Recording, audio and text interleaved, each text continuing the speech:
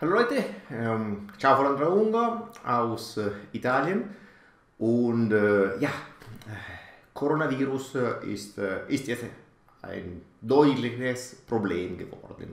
Ich hatte schon eine, eine Ausgabe über Coronavirus in dem Kanal und dort war ich noch ähm, positiv im Bezug zum Trading natürlich, wobei die Volatilität, die im Moment noch äh, generiert wurde von, äh, von diesem Corona-Crash, was noch in, in China begrenzt war, war normal. Es war eine saubere, kann man sagen, Volatilität und die Situation war noch unter Kontrolle bis zum Trading.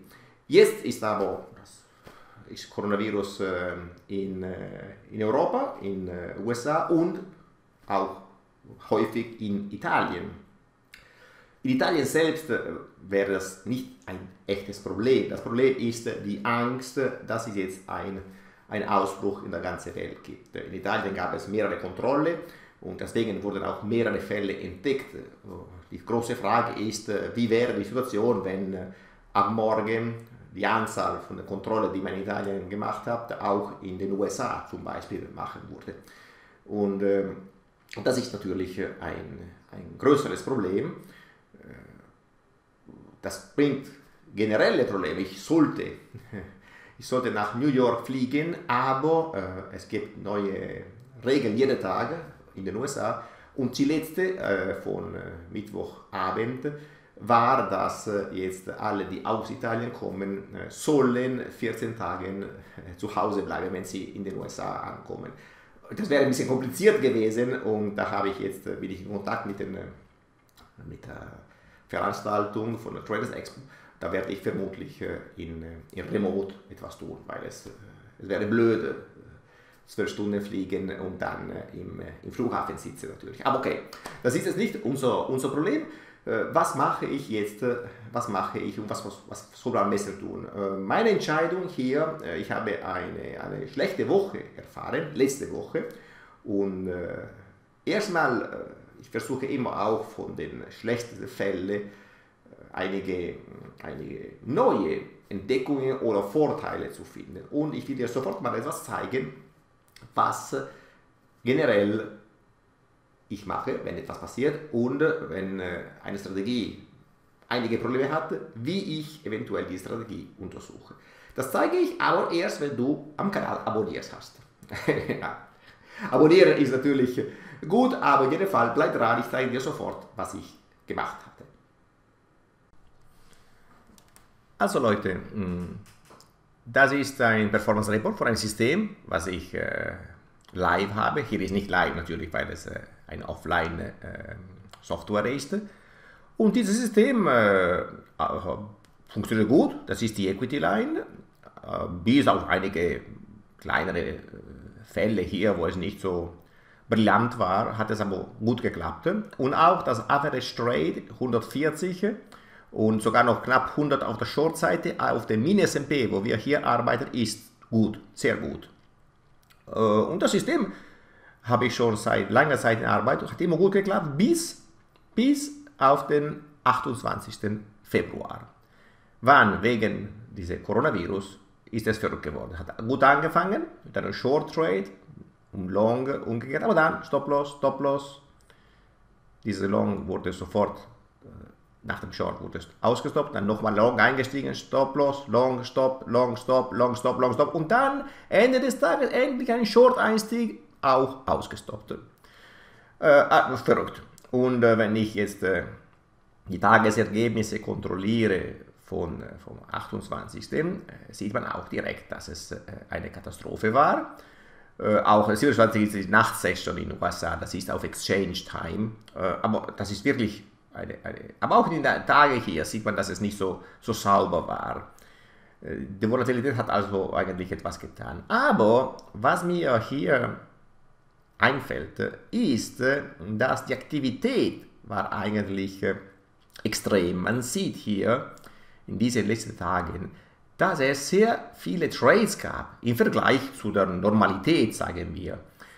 Und diese Trades waren alle Verluste in dem Fall. Also ich habe gedacht, äh, kann ich etwas tun, damit ich so etwas vermeiden kann in der Zukunft? Äh, wie wäre es gewesen, wenn ich die Trades äh, einfach nicht zu häufig getan hätte? Hier habe ich eine Testversion hergestellt von dem Skript und das habe ich dann im Signal, habe ich einen Input addiert, habe ich als Max Entries begrenzt. Ich habe also eine Anzahl von maximale Trades am Tag eingegeben und das habe ich optimiert die Optimierung hier ist nur zu studieren, wie es funktioniert hat, wie, wie, wie die Ergebnisse gewesen wären. Ich suche nicht das Optimum, ich suche etwas, wo ich verstehen kann, wie es funktioniert. Und das sind die Ergebnisse, um immer so um 180.000 ungefähr. Ähm, das Beste wäre das mit, mit vier äh, maximale Entries, aber ähm, das hier mit, mit vier. Aber das ist alles ungefähr gleich. Bis auf äh, das mit ein Einstieg nur, das erste hier. Das verdient weniger, okay, aber es hat ein höheres Average Trade. Also im Schnitt sind die Trades besser. Also es ist fast 10% mehr als Average Trades. Statt 140 ungefähr 160. Also äh, das bedeutet, dass die, die Trades, die ich so erhalten wurde, äh, besser wären, fitter. Soll das also die Lösung sein? Soll ich zukünftig meine Strategie zu maximal ein Einstieg am Tag begrenzen? Äh, das teste ich sofort. Wir müssen nur dieses 1 äh, maximale Entries eingeben im Report. Oh, das dauert ein bisschen. Das dauert ein bisschen. Die Strategie ist ein bisschen kompliziert. Das sind auf der richtigen Chart. Ähm, noch nicht da. Also, also, jetzt kommt es, jetzt kommt es, jetzt ist es da. Gut, also, was ist passiert?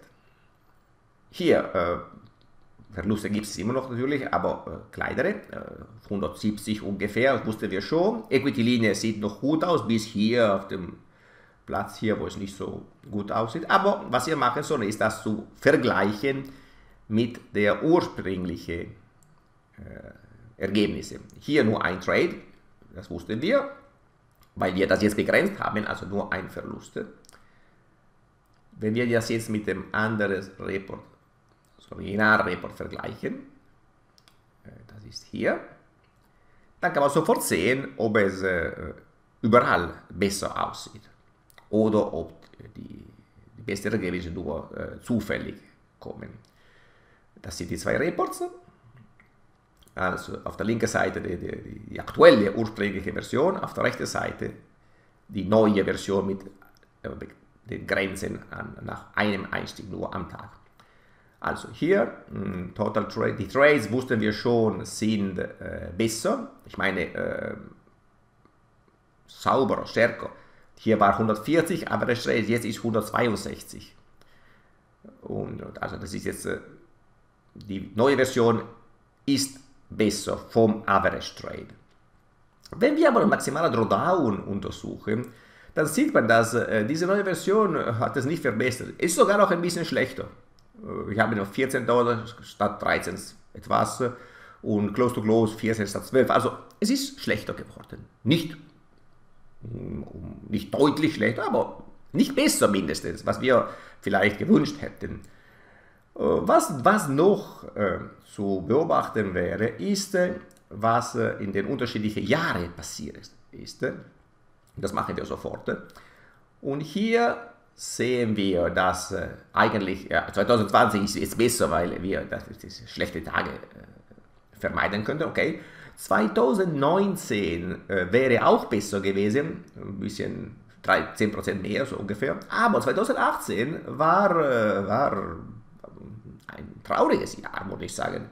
So 1700 Dollar statt 18.000. Also das ist nur 90% weniger. Das ist nicht so gut. Und auch äh, wenn wir runtergehen bis zu 2008, sieht man, dass wir hier die Hälfte verdient hätten. Äh, die Hälfte, und das bedeutet vermutlich, dass äh, die Version mit mehreren Einstiegen in ein volatiles Jahr wie 2008 besser funktioniert hat. Rein raus, rein raus, aber zuletzt, wenn man endlich im richtigen Trade war, dann hat es Geld verdient. Also das mit ein Trade maximal am Tag begeistert mich nicht besonders. Hm, wir hätten dieser 28. Februar nicht so dramatisch erfahren, aber es gab andere Jahre, wo die Situation nicht so gut äh, sein würde. Äh, und also ich bin gezweifelt. Äh, diese Analyse habe ich äh, jetzt durchgeführt und das, das ist, was ich normalerweise mache, wenn etwas passiert. Ich habe nicht äh, versucht, das Setup zu löschen. Ich habe nicht versucht, den Tag, also 28. Februar, zu vermeiden mit irgendwelchen Filtern. Das wäre Overfitting, das wäre ein bisschen tricky. Ich habe nur versucht zu sehen mit einer unterschiedlichen Regel, wie es gewesen wäre. Was wir aber machen könnten, ist, äh, wir haben jetzt auf 1 begrenzt, aber wir könnten das auf 2 Eisstiege begrenzen.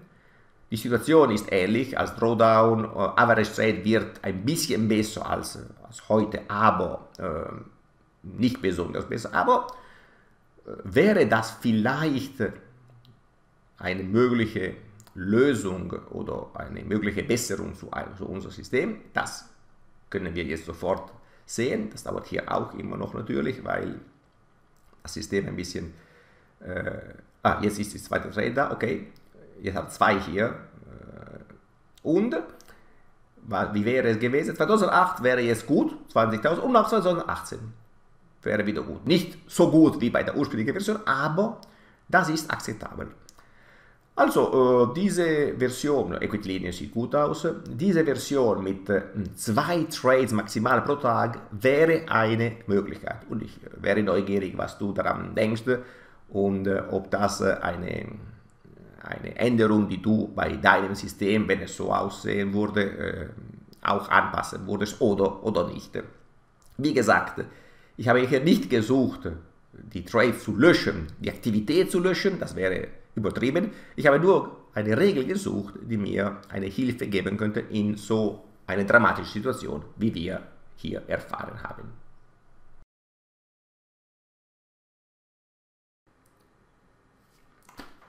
So, äh, okay, das war ein Beispiel. Das mache ich normalerweise. Hm, normalerweise, wenn eine Strategie ein Problem hat, das war ein Problem, analysiere ich die Strategie und ich sehe, ob es eine Möglichkeit gibt, die Strategie zu verbessern.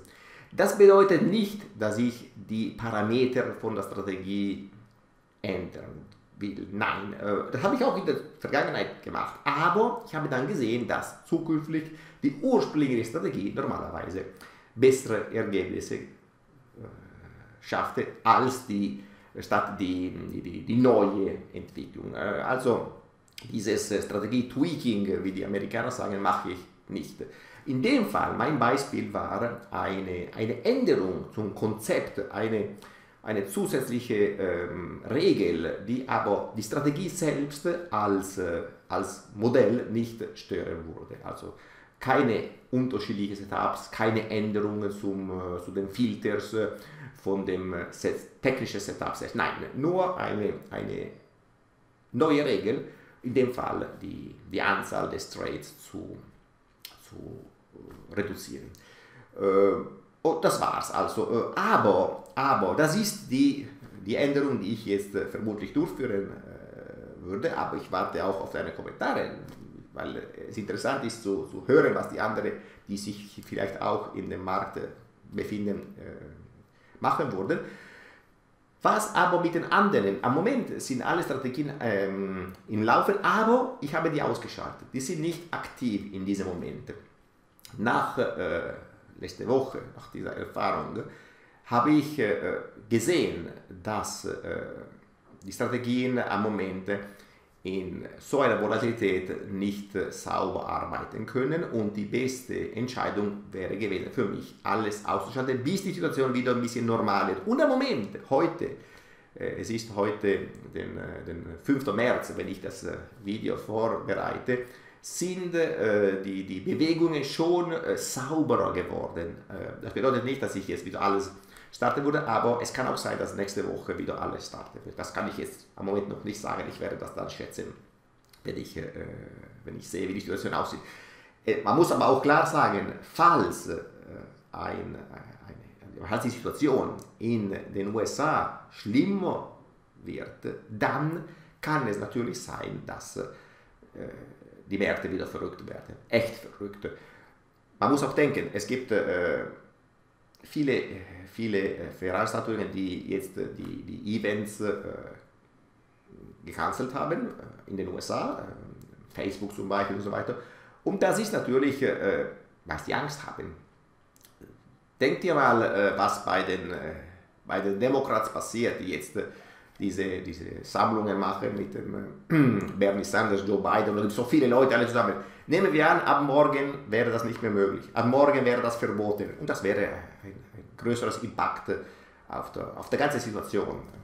Und das könnte auch passieren in der Zukunft. Man weiß nicht. Also ich hoffe natürlich nicht. Ich hoffe, dass alles so schnell wie möglich und so, so sauber wie möglich erledigt wird, dass man eine Lösung findet in der ganzen Welt, dieses, diese Situation zu, äh, unter Kontrolle zu haben. Aber man muss ja denken, dass es, es kann sein, dass es schlimmer wird.